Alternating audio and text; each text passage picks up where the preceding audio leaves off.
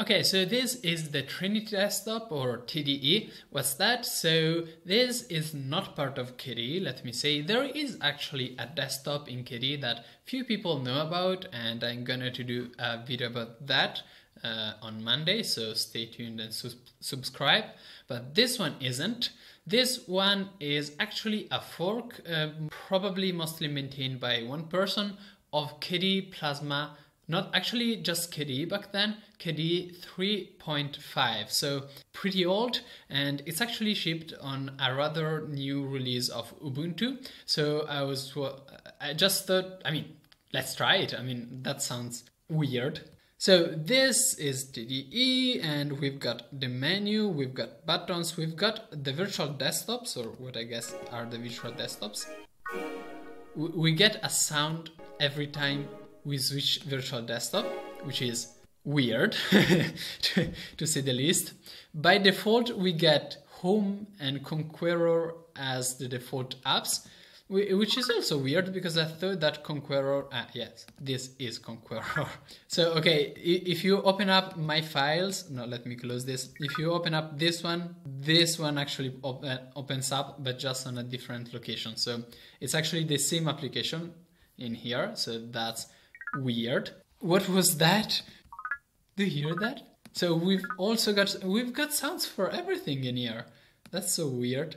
So we've got the calendar, which we can actually drag around. This is interesting. Maybe maybe that's some kind of improvement, uh, or at least a cool idea that uh, KDE Plasma 5 does not have. Here we've got the system tray, which um, we can move around and uh, looks like it crashed everything crushed. Okay, so we're back. We've got, oh, I hate this. So this is when you, this is when you click on something and a context menu pops up. I, I just hate it and I cannot even like go away by clicking anywhere else. How do I even like go away? Thank you. This opens up a window. What will this do? We never know. This is, uh, oh, we can actually pop this resolution up much better, much better. Now this looks almost modern. I mean, it doesn't, almost. So this is actually pretty useful. So we can change uh, a lot of useful stuff of the system tray. KDE has always had uh, like a super useful system tray. Oh, well, not this. This was worse. Okay, this just brings up KOrganizer and this is the clipboard. So we've always had Klipper actually, I didn't know about that. And that's like it. And in order to move widgets, you just drag and drop them like that and it worked. Can you like, uh, okay, so you just hover over widgets and you just drag and drop them and uh, sometimes it crashes. Okay, so how do you add an application? You go into the panel, right click, add application to panel, and you go find the correct application into the right category. This is just bad. and you can go remove from panel and then you select the applet and you pick the right applet. And you can even select all. This is so wrong. It feels off. So at the new panel. We've got the dock application bar, the external taskbar. What's that? We've got the Kasbar, the panel, and the universal sidebar. This is just beautiful. What's the Kasbar? Oh, this thingy. I didn't know about this. I don't know what that is. So let's try something else. I mean, we've got so many weird panels. So we've got the Kasbar and we can remove it from this. And then we can add the universal sidebar, which is like, oh, it's actually a decent sidebar. It sounds, it looks useful. I like it. It looks like a decent uh, sidebar to use. I like it. Actually, I'm a, I'm a keep it. I like the concept. KDE Plasma 5 doesn't have that. Uh, what else? Uh, we've got an external taskbar for, I guess, open apps. Yes, move it. And that's it. Okay, so this is Konqueror. It looks off with the scaling. I mean, icons are very small compared to text. We've got our menu there is a lot this concept of having this left sidebar that pops up and close. Actually, this is the same exact one. It's actually universal. I- I'm shocked. So we actually have a sidebar that is the same exact one inside of applications and outside of them. and it's like wow and you, of course you can navigate through folders using this for some reason the background of konqueror is not a plain color but it's actually a texture which looks bad at least all of this of course is in my opinion and according to the uh, design standards standards that I grew up with, so it's not really fair, but my videos never are fair. I mean, what else do we actually have? So we've got games. Yeah, actually, KDE used to have lots of very nice little games that aren't quite maintained anymore. Let me see if I can find a nice one to showcase, like this one. I remember actually playing this one and it was pretty nice.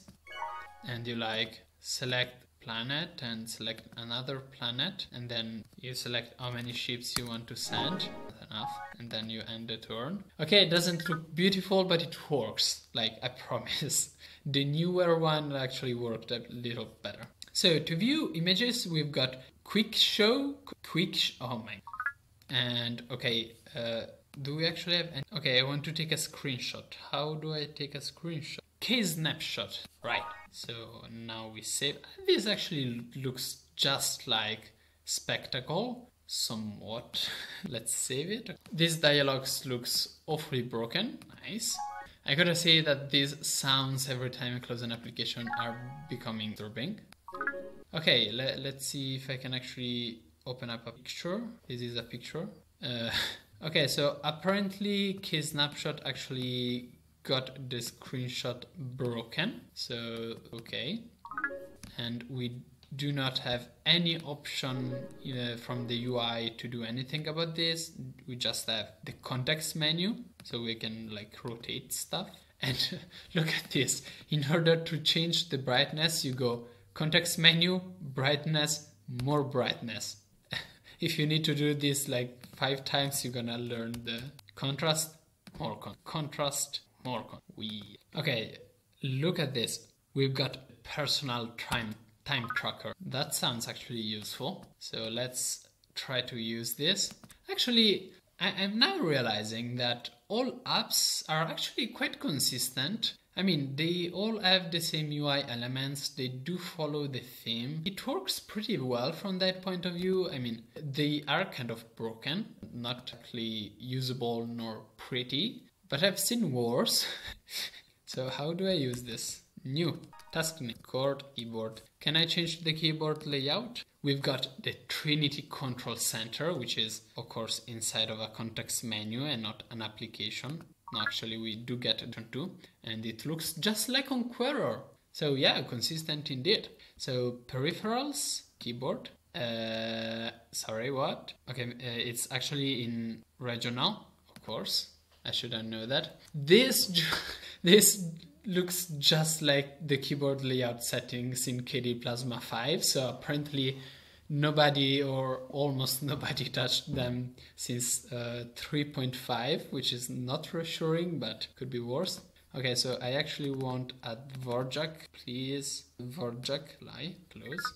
Task name, subscribe to channel, actually subscribing is a task start it and now it's recording it's not recording anything apparently. This is also fun. So we've got this and then in files we've got print and then we just get printer settings. What are you going to print exactly? Like what? Not even a preview.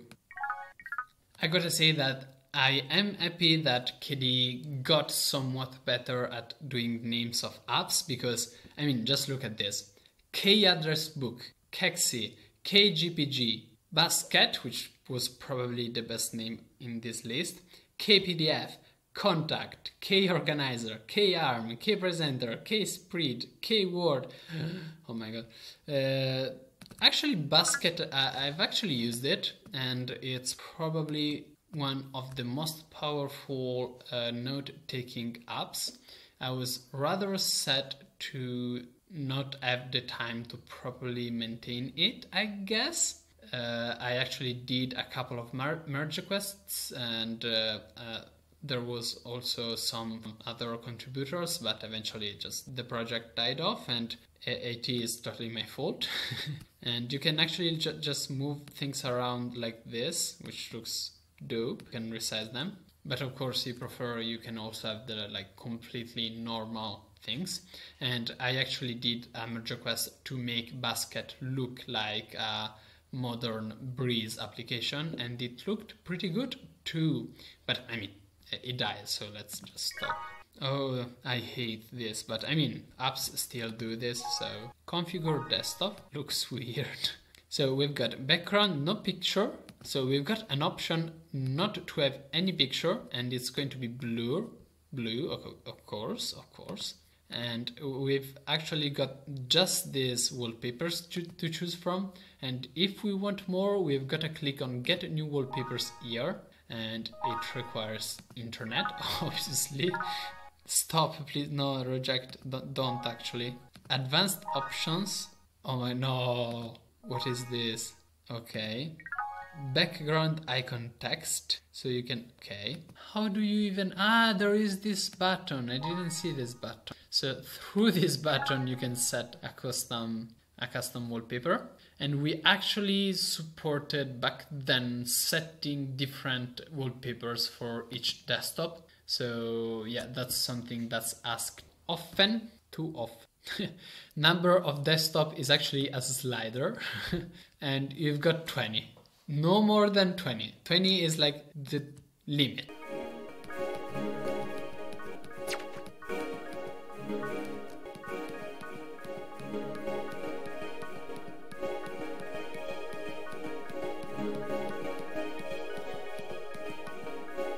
Sorry.